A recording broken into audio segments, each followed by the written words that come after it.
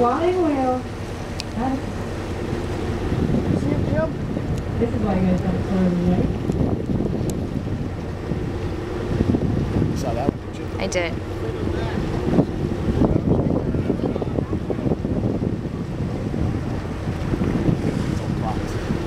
Oh, there it is. So look at this little mom cat. That's what there. Maybe mom's teaching us something.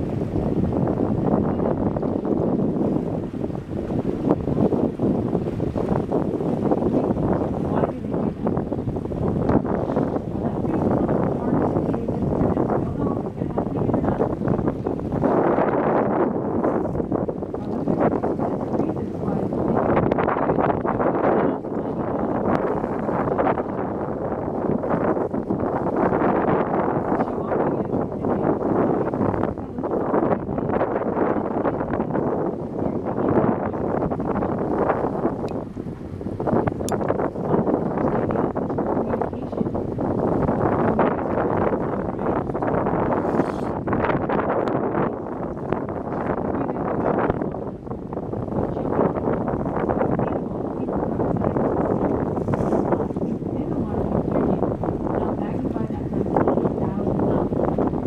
Well, there's reasons why they do Well, in the water, if you hear that sound, it's gonna travel very far. It's gonna travel about five to six times farther underwater than it is through the air.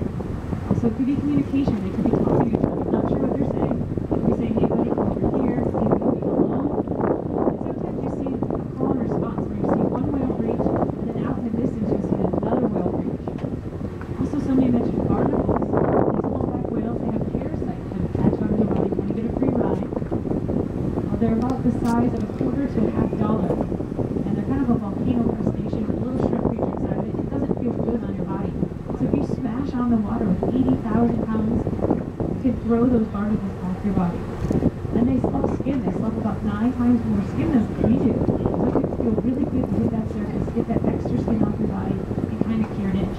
Now, if it was this female, she could have been teaching that little one how to breach as part of her job during this first year of life that little one's going to learn by watching that female and other whales doing it.